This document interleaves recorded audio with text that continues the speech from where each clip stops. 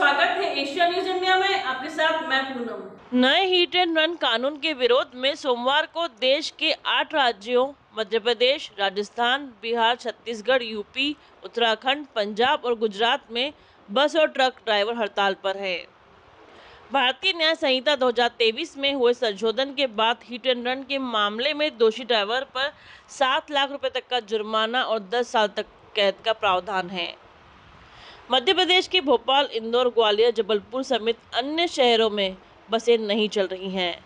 राजस्थान में आधे दिन तक प्राइवेट गाड़ियाँ नहीं चलाई गई। छत्तीसगढ़ के बिलासपुर में ट्रक ड्राइवरों ने सड़क पर वाहन खड़े कर टायरों में आग लगा दी। बिहार की राजधानी पटना समेत प्रदेश के कई जिलों में प्रदर्शन हो रहा है। वहीं उत्तराखंड, पंजाब और यूपी में भी ट्रक ड्राइवर ने चक्का जाम किया। All India motor transport congress ने हिट एंड रन कानून को सख्त बनाने का विरोध किया है। संगठन के आह्वान पर ही चक्का जाम और हड़ताल शुरू हुई है।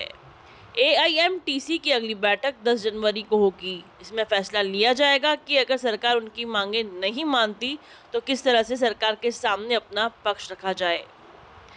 एआईएमटीसी के अध्यक्ष अमृत मदान ने कहा कि हिट एंड रन कानून के पीछे सरकार का इरादा अच्छा है, लेकिन प्रस्तावित कानून में कई खामियाँ हैं।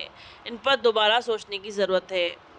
उन्होंने कहा कि देश की अर्थव्यवस्था में सबसे बड़ा योगदान परिवहन क्षेत्र और ट्रक चालकों का है। भारत इस समय वाहन चालकों की कमी से जूझ रहा है, लेकिन सरकार का इस और कोई ध्यान नहीं है। ऐसे में 10 साल की सजा के प्रावधान के बाद अब ट्रक ड्राइवर नौकरी छोड़ने को मजबूर हो गए हैं। इसी के साथ बने रहे एशिया न्यूज़ इंडिया के साथ। धन्यवाद।